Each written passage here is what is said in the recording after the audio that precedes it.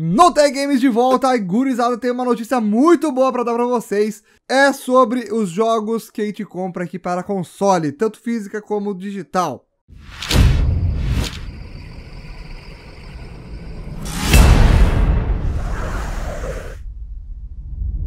Loja Horizon com diversos jogos em mídia física e com promoção na pré-venda do PS 2018 a partir de 140 reais para PlayStation 13 e Xbox 360 e a partir de 150 reais para PlayStation 4 e Xbox One. Pagamentos no cartão ou boleto. Utilize o cupom NTG para adquirir o seu desconto e lembrando que o frete é grátis via carta registrada. Garanta já o seu PS 2018 com todos os bônus de pré-venda e com preço baixo desses. Você só encontra na loja Horizon. Aproveite! Vocês sabem que aqui no Brasil os jogos é uma, uma taxa assim, ó, abusiva em cima de tributações. Por que que acontece isso? Porque aqui no Brasil são vendidos como mídias de áudio e vídeo, ou eletrônicos, enfim não são vendidos como os jogos, por isso que a gente paga uma taxa absurda. Vou ler aqui a notícia que saiu para vocês.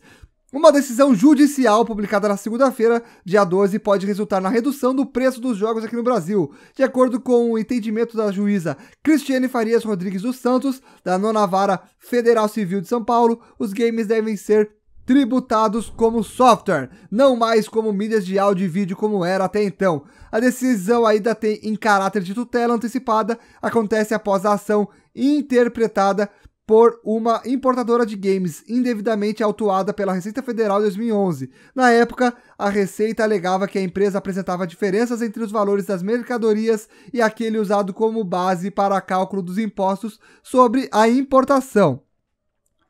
A empresa se defendeu e acionou a justiça afirmando que os jogos não se enquadram no artigo 81 do Regulamento Aduaneiro Decreto 6759/2009, que trata das, de mídias de áudio e vídeo. Ao contrário, a importadora garantiu que os games se tratam de softwares gravados em mídias físicas, portanto deveriam ser tributados como softwares, o que foi acatado pela justiça. A decisão judicial afirma que jogos eletrônicos devem ser tributados como software e não mais como mídias de áudio e vídeo. Gurizado que a gente pode levar sobre essa notícia. Não tem nada certo ainda, não vai acontecer nada de, de baixa dos valores agora, mas isso já é um baita do início. Isso daí pode ser que em muito em breve já tenhamos uh, mídias físicas sendo vendidas aí por preço uh, muito mais baixo, como um lançamento que é vendido por 250 pila, quem sabe pagar 100, 120, 150 no máximo, quem sabe, né?